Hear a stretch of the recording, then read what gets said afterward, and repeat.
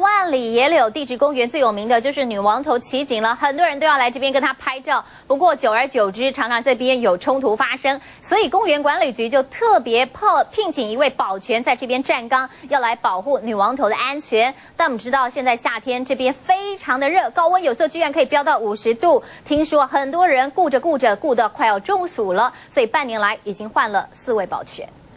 我们这边拍照哈，排队要排右边哈，排右边哈。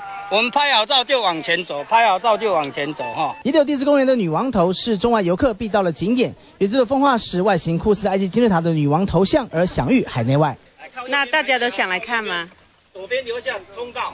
那那么有名呢？这两年大陆观光客来台人数暴增，经常发生抢镜头卡位，差点撞到女王头的危险状况。因此，有关单位特别请了保全公司派保全进驻来保护女王头。就是因为他违规，我们劝导他，他们会骂我们。别以为他们的工作轻松，除了管理秩序常挨骂以外，这几天的高温酷暑晒得人头昏眼花。在早上十点多，温度计就已经飙到了摄氏四十五度，半年来已经热走了四位好汉。哎，我我们可以这样封起啊，这样封起来，剩下眼睛呢，这个部分都都不会照到。一天上班十个小时，真的是从早热到晚，下雨天还不能撑伞。你以为薪资一定不少，其实时薪只有一百元，就算全勤一个月也才两万五，怪不得会热走不少好汉。